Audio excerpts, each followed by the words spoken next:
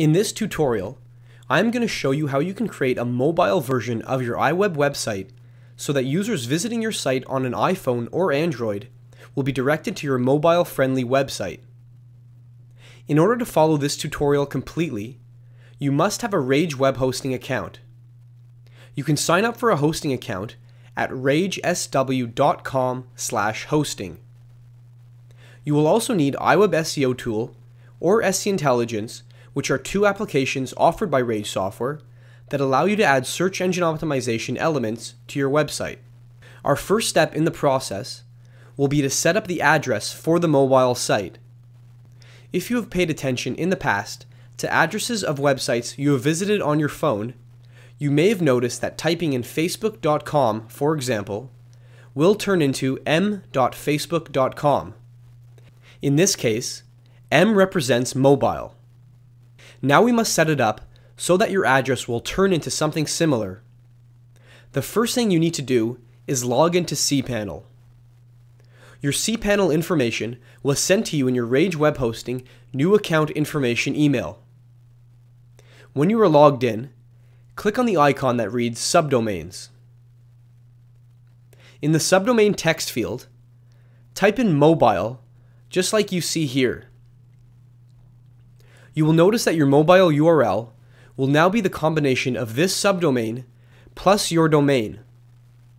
So in my case, it will be mobile.ragesw.net. Just a quick note, if you have multiple domains on your account, you can click this drop-down menu to select the domain you want to use for the mobile site. You will notice that the document root field will automatically be filled with public underscore HTML slash mobile. Take note of this because it will be used later on in the tutorial. The next thing we're going to do is prepare our mobile sites in iWeb. What we will do is create a new site by going to File and selecting New Site. Since we want our mobile sites to be mobile friendly, our best option is to choose the blank page. Now I'm just going to get rid of this text box and then disable the navigation menu. This is done by clicking on Inspector and clicking on the Page tab and unchecking the options to include this page in the navigation menu and Display Navigation menu. The reason we do this is because since we want to ensure mobile friendliness, we basically want a blank page and none of the page defaults from iWeb. With the inspector window still opened to the Page tab, click on the Layout button and change content width to 300 pixels.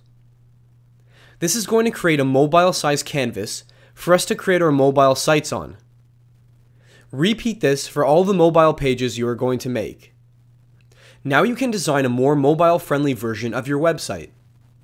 This can include images that are smaller in file size and larger, more compact text. It might be a good idea to visit some mobile friendly websites on your phone so you can get a better idea of how to design your mobile site. One tip is to always include a link to view your full site. A way to do this is to just create a text box that says View Full Site, highlight the text, open the inspector window, go to the Hyperlink tab, click to enable as hyperlink, and type in the non-mobile link for this respective page. When you are done creating your mobile friendly site, you will need to publish it. The important thing here is to publish the mobile site to that new subdomain that we just created. So if you are using iWeb 09, you will go to the publish page by clicking on the site name and select Publish to FTP server from the drop-down menu. Customize the site name and contact email to your liking. Then input your server address, username, and password. In the directory slash path field, type in the location of your subdomain, which if you remember from earlier, was public underscore HTML slash mobile. In the website URL field, make sure you type in your URL as http colon slash slash mobile.yourdomain.com. In my case, I will type it in as http colon slash slash mobile.ragesw.net. When you are all ready, click the Publish Site button to publish the site. If you are using an older version of iWeb, publish this new mobile site like you would publish your regular site. The most important thing to remember is that you need to publish the site by putting public underscore HTML slash mobile in the directory path field. If you forget to do this, it will not work and you risk overwriting your original website, so do not forget about this step. When the site has been published, you can visit it on your phone by going to mobile.yourdomain.com. Make sure everything looks the way you want it to. If not, go back to iWeb and make your changes and then publish the site once again. Once you are satisfied with the mobile version of your site, there is one last thing that needs to be done in order to make the phone know to send the user to the mobile version of your site. Go to ragesw.com/blog. In the search field, type in web hosting tutorials and select the result that reads Rage Web Hosting Video Tutorials. The direct link to that page is this.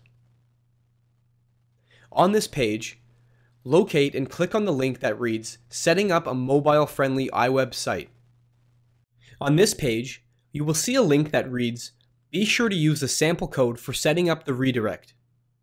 Click on this link and then copy the code that will appear on the page that follows. Now, before we paste this code somewhere, I want you to first publish your main website from iWeb to a local folder on your hard drive. For most of you, your site should already be published on your hard drive somewhere. Then load that local folder into iWeb SEO Tool or SE Intelligence, whichever program you use. With your website loaded in the tool, paste the code that we just copied into the head code section of the Site Settings tab. Replace the URL, which reads mobile.ragesw.net, to your mobile URL. If you are using SE Intelligence, open the Site Settings tab and paste the code in the header code slash Google Analytics box. Also replace the mobile.ragesw.net URL with your mobile URL. Publish your website from iWeb SEO Tool or SE Intelligence. When you visit your website from your phone, you will be automatically redirected to the mobile version of your site.